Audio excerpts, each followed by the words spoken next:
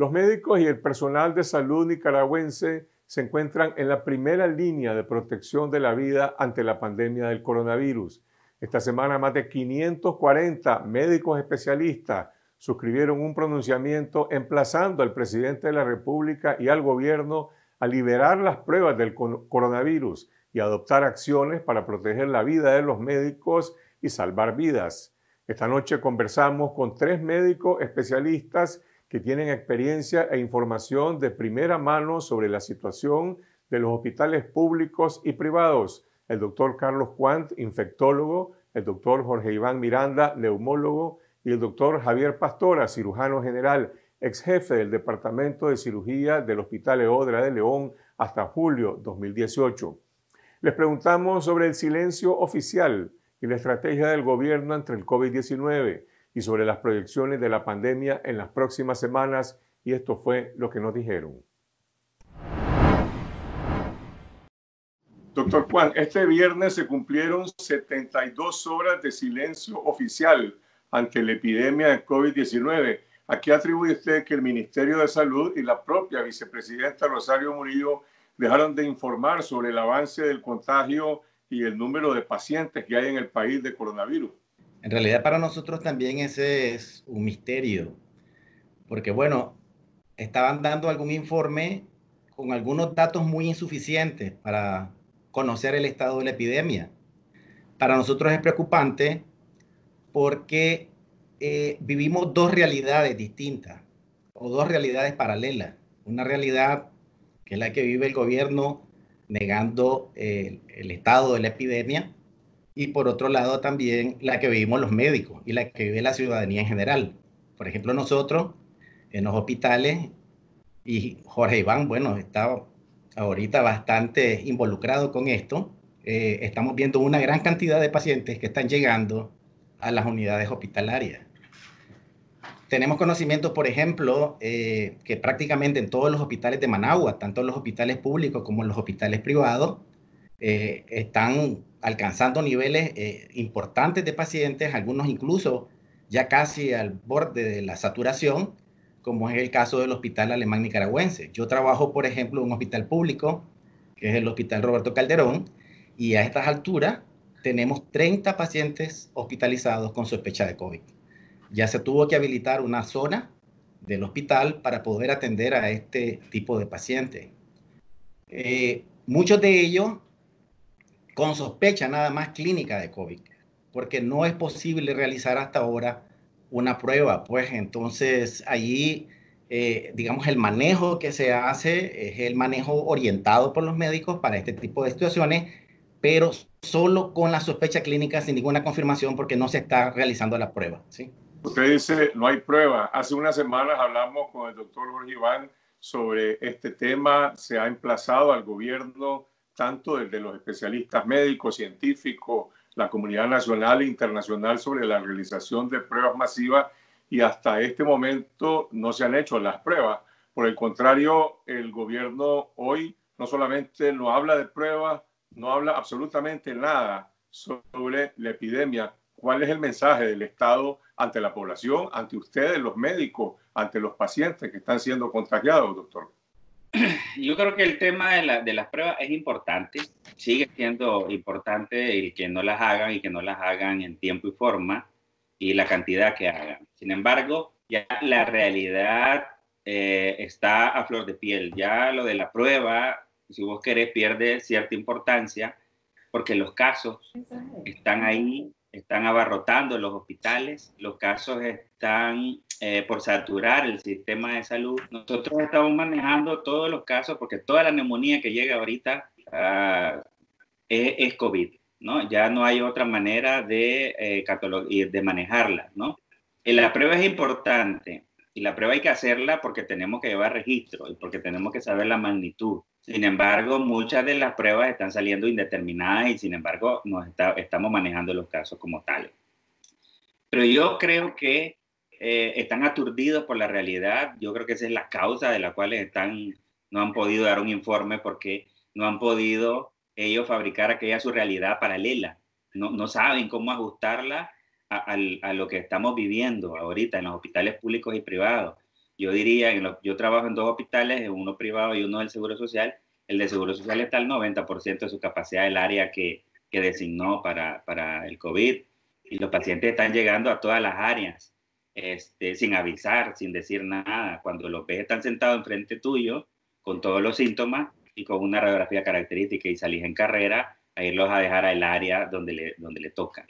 Este, la prueba se solicita, la prueba se hace si el paciente tiene cierta gravedad, moderado a grave, y con una neumonía le están haciendo la prueba a la gente. Este, obviamente no es la cantidad que necesitamos que hagan. Ya la premura de hacer pruebas, incluso masivas y pruebas en, asintomáticos, eso ya, ya lo pasamos esa etapa. Ahorita ya estamos en una etapa donde se trata de, eh, de documentar ¿no? la situación. Más que todo esa sería la importancia de la prueba ahorita, documentar que los casos que tenemos sí son COVID. Pero el Estado tiene una responsabilidad constitucional de velar por la salud de la población, de informar e incluso de informarle a los organismos internacionales como la Organización Mundial de la Salud, porque esta es una pandemia mundial. Doctor Pastora, ¿puede mantener el Estado este silencio de manera indefinida? La realidad va a golpearnos en la cara, pero este silencio creo que responde a una estructura filosófica de los gobiernos autoritarios y totalitarios. En, unos principios establecidos en Goebbels, en cuanto a la propaganda, se definía que en un momento determinado había que tener silencio.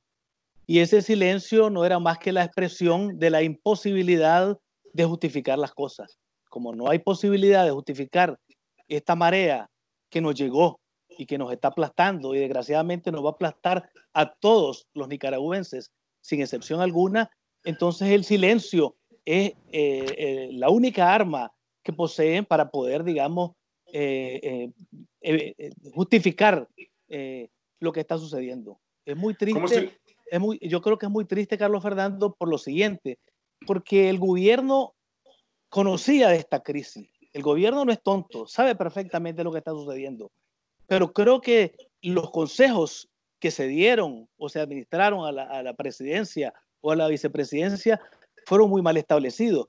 Por lo siguiente, la epidemia iba a llegar a Nicaragua, como ha llegado a todos los países del mundo, y que llegara la epidemia no era una culpa del gobierno de Nicaragua. La forma de reaccionar, sí. O sea, que viniera la, la, viniera la epidemia y el gobierno actuara en conjunto con la población, transparentara datos, se auxiliara de la empresa privada, se auxiliara de organismos internacionales, permitiera a, organismos y estructuras sanitarias privadas hacer pruebas y acompañar eso como una misión en función de ayudarle a la población nicaragüense, esa era la prioridad. Esconder ahora como avestruz el problema no va a solucionar absolutamente nada. Hablemos del momento en que nos encontramos hoy. En, usted está en León, en Chinandega han estallado brotes de contagio. Todo el mundo sabe que el hospital España está bajo una enorme presión eh, al borde del colapso. ¿Cómo se interpreta este fenómeno de transmisión comunitaria que está ocurriendo en Chinandega? ¿Es un fenómeno local, es algo regional o es una tendencia nacional? Eh, alguno de los colegas expresó en otro momento, en esta otra entrevista, creo que el doctor Argüello, que la, la estadística es una ciencia. Entonces, lo que va a suceder, la matemática te lo expresa. Y el número eh, exponencial de contagios es algo que está sucediendo, va a suceder, ha sucedido en todas partes del mundo.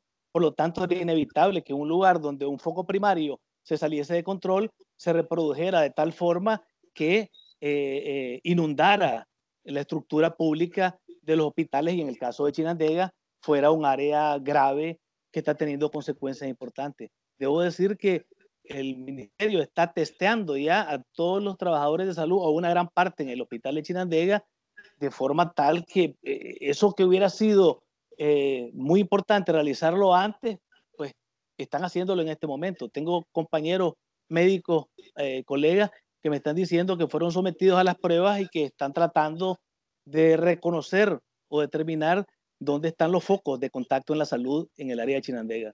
¿Qué significa Chinandega en este momento, doctor Juan? ¿Se puede hablar de Chinandega como un epicentro del problema nacional o es, repito, un fenómeno regional, digamos que está ubicado solamente en esa zona?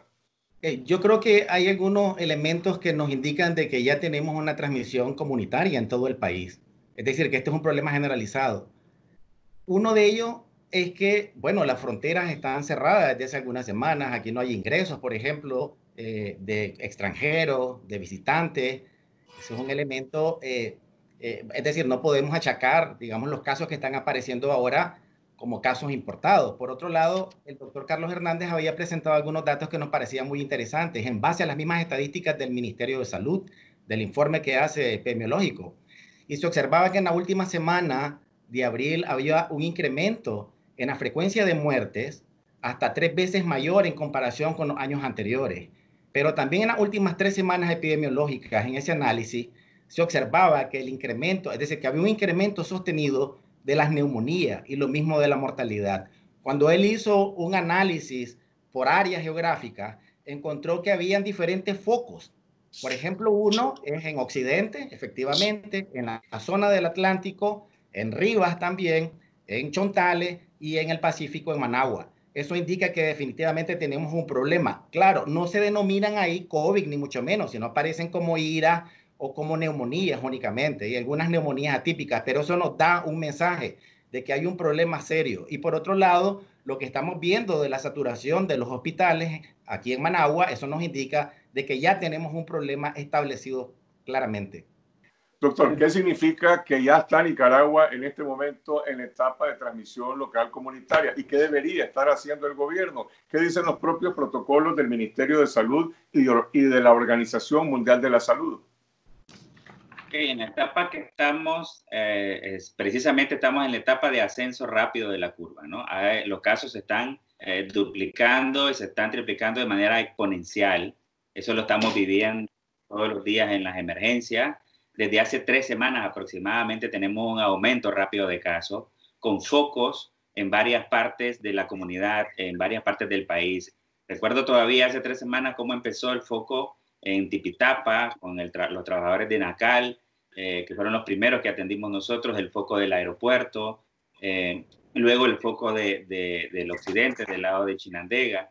Entonces, estamos en una etapa de transmisión ya ah, comunitaria y de crecimiento acelerado de los casos. Lo que hay que hacer en, en, este momento de aumento rápido es reforzar la atención de estos pacientes, procurar que tengamos la capacidad de respuesta para los pacientes graves, eh, mayor capacidad de pruebas para detectar a los contactos de estos pacientes y a los trabajadores de salud que estamos en contacto con estos pacientes para eh, dar tratamiento temprano, seguimiento temprano a estos casos y limitar la transmisión. Eso es lo que se debería de estar haciendo, pero el gobierno sigue implementando actividades. Eh, y el mensaje que da el gobierno, el mensaje que daba el gobierno hace 72 horas todavía, de decir que hay tres casos, cuatro casos, cala en la gente, en la gente humilde, en los cándidos y, en los y en, los, en la gente que percibe de que no hay una emergencia. Y entonces vos podés ver en la calle a la gente sin protección, en los colegios, a conglomerados, sin, sin protección, sin mascarilla. ¿Por qué? Porque no hay una, un reforzamiento de, parte de las autoridades y del alertamiento sobre el, el, aumento rápido de los casos. En este momento hay decenas de pacientes contagiados o sospechosos, como le llaman ustedes, en prácticamente todos los hospitales de Managua y en la mayoría de los hospitales del país.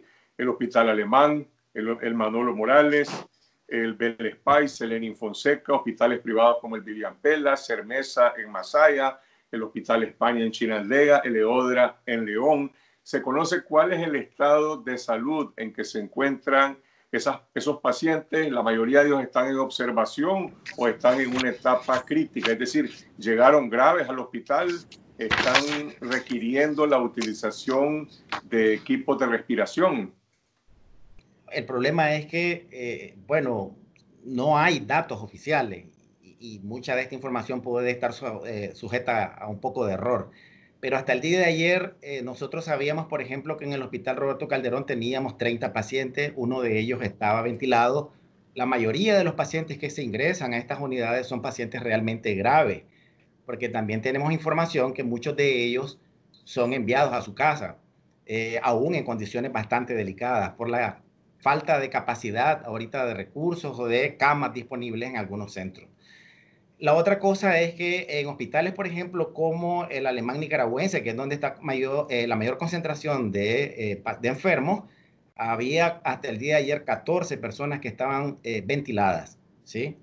Y bueno, en otros hospitales como el, el Bautista, el Hospital Salud Integral, tenemos entendido que habrían entre 12 a 18 pacientes ingresados también algunos de ellos eh, sometidos a ventilador. Por lo menos en el Hospital Bautista, uno de los pacientes estaba en ventilación. Eh, hasta ahora, pues lo que sabemos es que hay una proporción de casos que están llegando a las unidades hospitalarias en condiciones bastante graves y que eh, no tenemos muy claro cuál es el porcentaje de pacientes que requieren ventilación, pero es significativo el número de personas que ya en esta condición están requiriendo este tipo de apoyo. Usted trabajó hasta hace dos años antes de ser expulsado, destituido en el EODRA de León, doctor Pastora. ¿Qué conocimiento tiene sobre la situación de ese centro hospitalario de León en particular?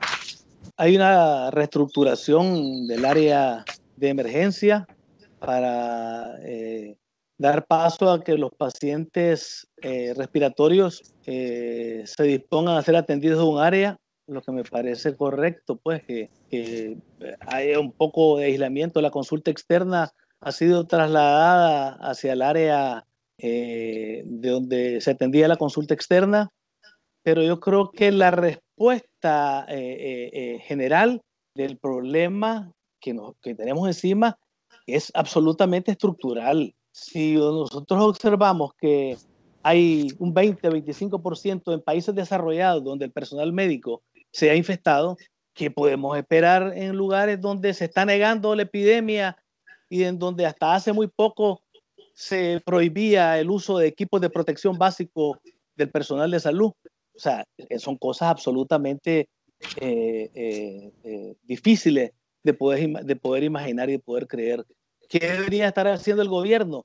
Reformando el presupuesto de la República de Salud para asignarlo más, disminuyendo en un 50% del salario de los ministros para tener un fondo para ayudar a los pacientes eh, eh, eh, de, esta epidemia, abrazándose de alguna forma con capital privado para poder, digamos, señalar rutas específicas de apoyo logístico. Esas son las cosas que deberíamos de estar, en lo que deberíamos estar trabajando, creo yo. Porque aquí lo que estamos haciendo es viendo el mar que viene y la ola nos va a arrastrar, desgraciadamente. Y no, este somos, perdón, y, no, somos, perdón, eh, eh, eh, cerebros deformados, como dijo la señora vicepresidenta. Hablamos con propiedad, hablamos con conciencia, hablamos con ciencia y hablamos con responsabilidad ante el pueblo de Nicaragua.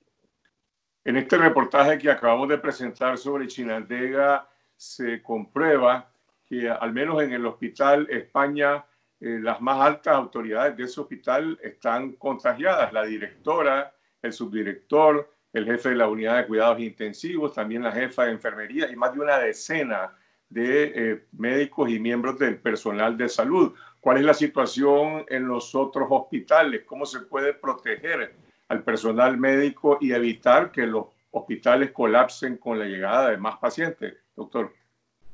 El caso de los médicos y del personal sanitario infectado, eh, sobre todo en los lugares públicos y, en los hospitales donde no había una preparación previa, donde ah, empezaron a atender o a llegarles los pacientes, obviamente sin avisarles y sin estar preparados, fue la causa de que muchos de los colegas se hayan infectado. Ah, nosotros, por ejemplo, en el Hospital del Seguro Social donde yo trabajo, tenemos al 80% de la capacidad de la sala llena y, hemos tenido muchos colegas infectados, algunos de ellos graves. Otra particularidad que hemos visto, eh, hablando del tema de los graves que tocaba previamente, es que la mayoría llegan en, en, una condición moderada a grave. Un pequeño porcentaje están ocupando ventilación mecánica. Al inicio de la epidemia, cuando no sabíamos y no teníamos la experiencia nuestra, creíamos que se nos iba a abarrotar el hospital de tantos ventilados. Sin embargo, eh, con las técnicas de ponerlos volteados o cronos con, con, oxígeno, muchos de los pacientes han, han salido, han mejorado y el ventilador se está ocupando en muy, muy poca proporción hasta ahora. Yo me imagino que cuando empiece a crecer la epidemia y empiece a afectar más gente vulnerable con más factores de riesgo, el porcentaje de graves va a ser igual que en, el resto del mundo. Ya, en, el hospital donde yo trabajo, por ejemplo, sí, se prepara, nos preparamos para la llegada de, de los pacientes y sin embargo nos agarró movido porque el primer paciente que llegó no teníamos todos los equipos todavía, ¿no? Estábamos en esa etapa de preparación, una etapa muy larga porque dependemos mucho de la, de la administración del hospital. Nosotros estamos en esto desde enero, esto va a venir. Cuando vimos que esto se descontroló y se salió de las manos de China, les empezamos a decir a los hospitales, preparémonos, corticemos, separemos la atención de los pacientes, cómprenos los equipos. Y vino la epidemia a Nicaragua y no estábamos preparados todavía, como muchas partes del mundo. ¿Cuál es el estado que predomina en el gremio médico, en el personal de salud en este momento? Hemos visto pronunciamientos de la unidad médica, de asociaciones, más de 500 especialistas prácticamente emplazaron al presidente, emplazaron al gobierno a que libere las pruebas, a que tome acciones. El gobierno calla, no responde. Y la pregunta es, bueno, los médicos en este momento lo que predomina es un temor a represalias del gobierno o un temor a contagiarse. También se han, ocurrido renuncias de médicos en algunos hospitales, doctor Juan. Yo creo que en realidad eh, el temor es a ambas cosas, a las represalias y a la infección definitivamente. Y quiero enfatizar un poco lo que mencionaba eh, el doctor Miranda en ese sentido. Aunque la epidemia nos dio una gracia de casi tres meses para la preparación y conocer lo que estaba sucediendo en otros países como China, como España, Italia y Estados Unidos, eh, a pesar de esa experiencia acumulada que ya existía, desafortunadamente no la pudimos, no la supimos aprovechar en Nicaragua para prepararnos. El, el, gobierno dijo que tenía 19 centros hospitalarios preparados, pero la verdad es que solo fueron designados de nombre, pero no había recursos eh, eh, disponibles para la atención de estas personas. El primer hospital que comenzó a trabajar en ese sentido fue el alemán nicaragüense pero ninguna de las demás unidades realmente se había preparado para la atención de las personas con COVID. Así que se ha venido improvisando sobre la marcha, de tal manera que la epidemia es la que ha obligado que el gobierno eh, habilite ciertas áreas para la atención de las personas con COVID en la actualidad. Y en esa misma dinámica, a los trabajadores de la salud no se les daba protección. Todavía a estas alturas, mucho del personal no tiene los equipos necesarios de protección. Resulta que eh, hasta una semana aproximada, aproximadamente fue que comenzaron a permitir el uso, por ejemplo, de mascarillas, a partir de que algunos trabajadores de la salud comenzaron a enfermarse.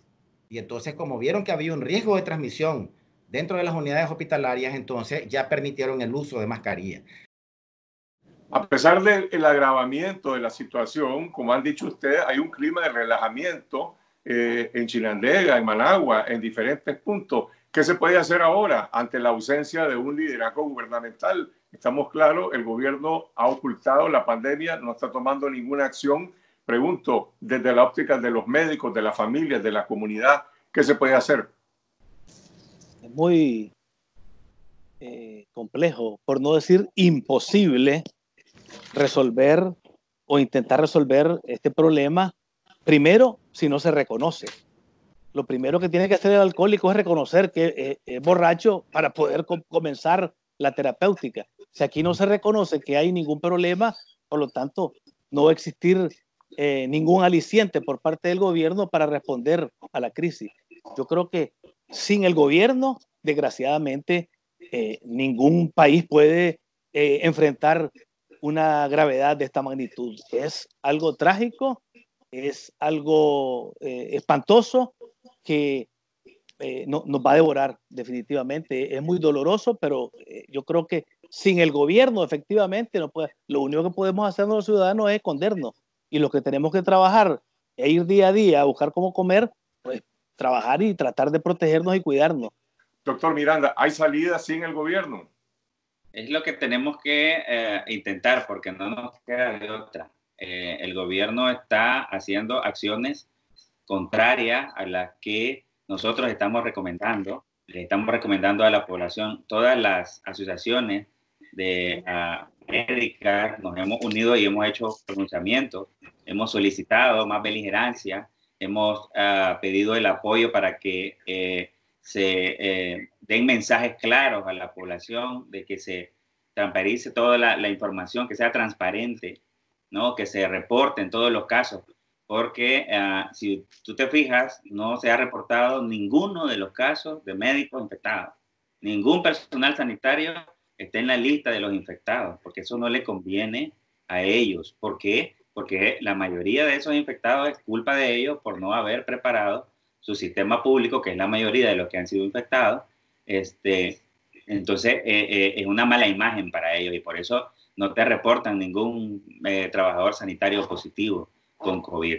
Entonces, ¿cuál es la salida? La salida somos nosotros mismos que tenemos que eh, seguir pronunciándonos, seguir eh, dándonos, dando el mensaje por estos medios como el tuyo y como eh, por todos los medios para que la población pues nos ayude. Porque, como tú decías, hay una relajación completa, un relajamiento completo de la población. La gente anda como que sin nada y nosotros que estamos viendo el monstruo de frente, estamos lidiando con él todos los días, estamos sumamente preocupados y sumamente asustados.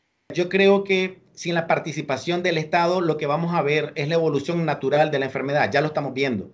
Es decir, lo que vamos a ver es la saturación de los hospitales posiblemente en unas dos semanas. Eso es lo que vamos a ver. Los hospitales llenos van a tener que reconvertirse en los hospitales para atención de COVID, nada más. El problema es que vamos a tener capacidad limitada porque la mayoría de los trabajadores de la salud se nos han infectado. Hay una gran cantidad de trabajadores que se están infectando en la actualidad por no utilizar adecuadamente los equipos de protección, por no tener disponibilidad de los medios de protección.